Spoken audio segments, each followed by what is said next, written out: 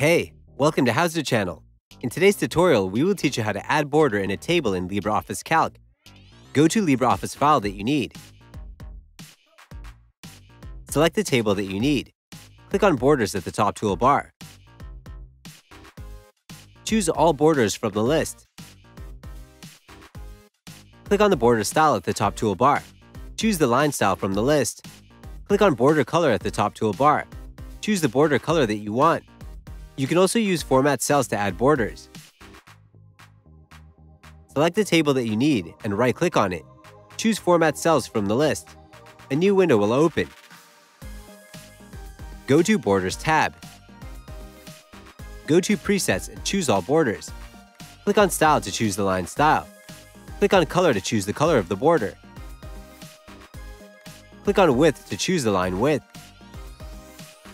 Click OK when you're done. That's it. Thanks for watching the video. Please like it and let us know if you used any of our tips and tricks. Subscribe to our channel.